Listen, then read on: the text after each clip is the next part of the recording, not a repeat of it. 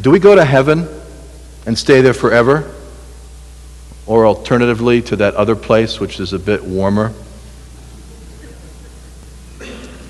The question is do we, do we go on to a spiritual reality that's apart from our bodies? Think about that. What, what's true? What's not true here? For if we stay forever in this spiritual reality without our bodies, if we, if we remain forever disembodied in a purely spiritual existence, then how did Jesus' and Paul's and other, others' words in Scripture on bodily resurrection, how does this theology of resurrection, which we find throughout the Scriptures, how does that fit into a purely spiritual disembodied existence? Did God really create us in our bodies, pronounce us very good, and then intend that we would live in eternity without bodies, just floating around in heaven forever? How do you think about heaven? What do you envision when you envision that place where you go when you die? Today, I think our text in John leads us to think more carefully about the afterlife about what it means to be resurrected as Jesus was, and about the importance of resurrection in our present lives. The words from the Gospel of John we just read are a window into a very personal encounter between two dear friends. Jesus was very friendly with the Mary, Martha, Lazarus family. And Jesus meets with Martha just after Martha and Mary's brother and Jesus' friend Lazarus had died. And what, what ends up happening to Martha is that she has one of these great aha moments, one of those moments when the light goes on for her. And she has it in a time of great personal sorrow and struggle. And so often, isn't it, that that happens to us when we're struggling, when we're sorrowing, our defenses are down, eh, when we're feeling personally broken. And so it's in those times that Jesus is able to wonderfully break through and give us that aha moment that we so desperately need. And, and for Martha, it was an opportunity to make a life changing decision.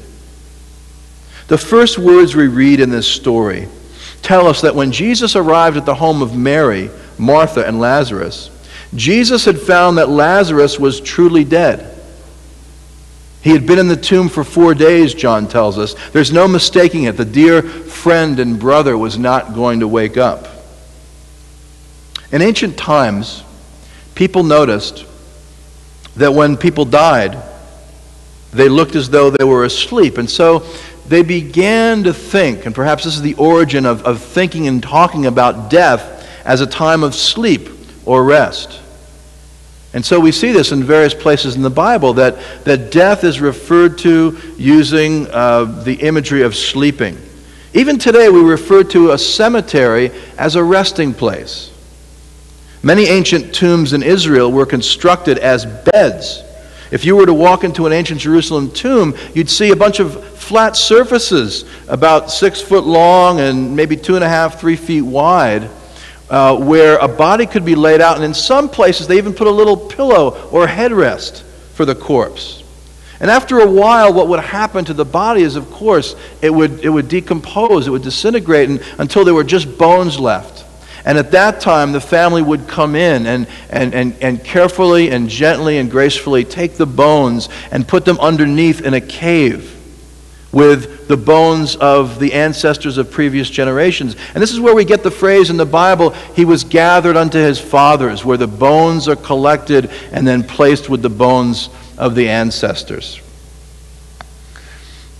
Later on, uh, the custom developed to make little boxes. This is where we hear about these ossuaries, these bone boxes that have been found. So the body's laid out, the bones are gathered and placed in a, in a bone box.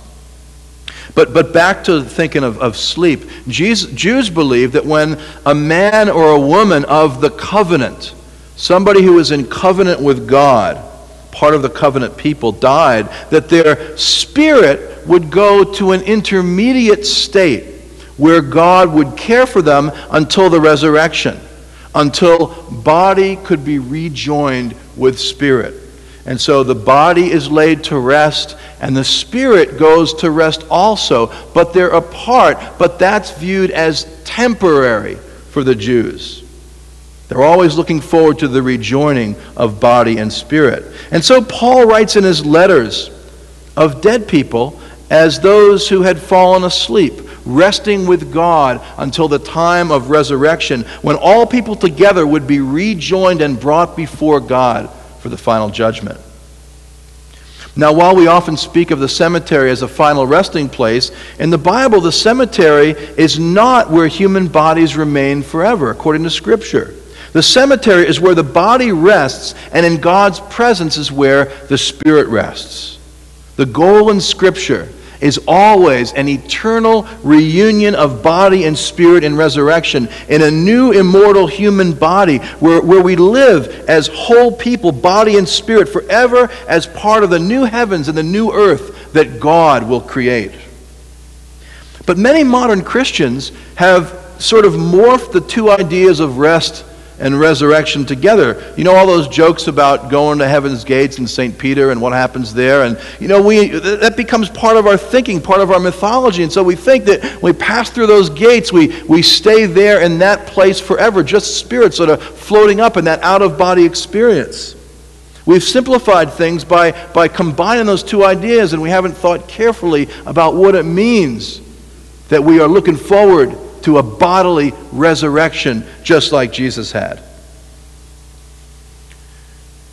In combining rest and resurrection into this disembodied life, this long period just of being spiritual in heaven, we've made the afterlife, I think, much less interesting. After all, who looks forward to just floating around for eternity?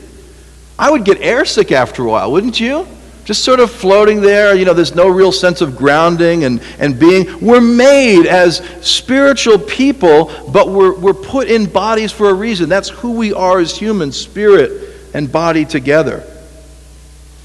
What we've done, if we think about the afterlife in this way, and if we tell others and get them thinking, is that we, we've made it less interesting, we've made it less appealing what we've done is we've taken away what's at the very center, the very core of the Christian life resurrection. We just celebrated it two weeks ago, Easter Sunday. Resurrection, the resurrection of Jesus, and what it means to be resurrected with Him in the afterlife.